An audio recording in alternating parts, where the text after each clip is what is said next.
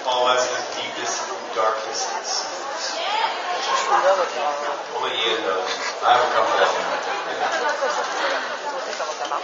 Years of working with him. A lot of confessions. A lot of late, late night drunk confessions. Yeah. Many cerveza. He uses cerveza right now. I can use a cerveza. Does anyone have a Guinness cerveza?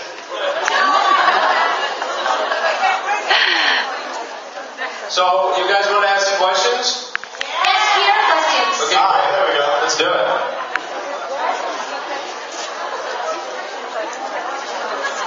It's like an Oscar speech. She has a good Hi, good morning. Good morning. Uh, first of all, uh, I would like to say today in Spain is Mother's Day. Oh, really? Really. Congratulations to all mothers of our Any moms here? Happy Mother's Day.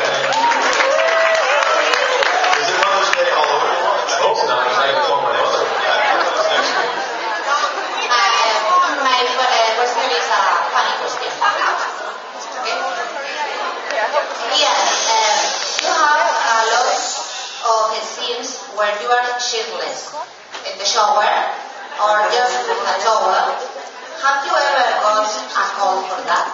I have.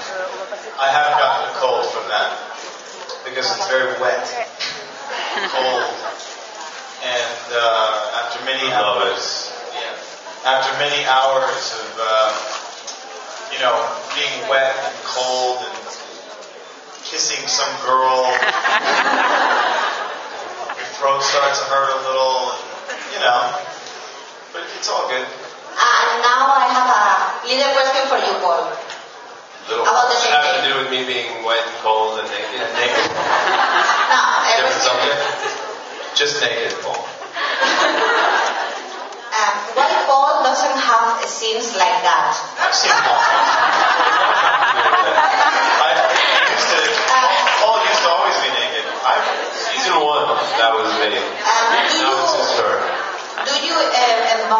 Situation? Say it again? Ian, do you in- invite Paul situation? Don't you think? do I envy, oh, do I envy Paul's situation? Not having to do that. Oh, yeah, uh, yeah, He no. loves it. I love being